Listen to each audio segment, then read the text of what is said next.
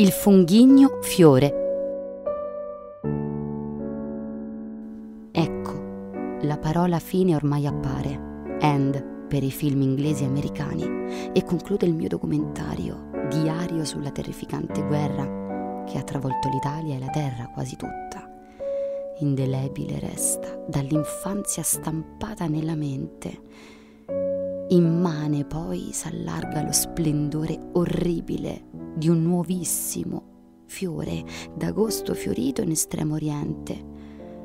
Col mortale fungo atomico e vasto, anzi, aperse il suo capello nefasto nel ciel di Hiroshima e Nagasaki e diede inizio all'era dell'orrore nucleare ed il proprio stemma inferse per profondo guasto intimo e morale degli strateghi di violenza ubriachi e ferale fu annusare il bagliore in odore di quel funghigno fiore per ogni essere e genere vitale.